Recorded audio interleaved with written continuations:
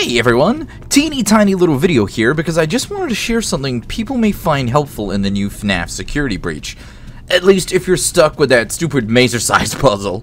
You see, if you can just get to this point here, where you can see the vent but it's still blocked, just jump crouch against the side like this, and eventually you'll squeeze on by.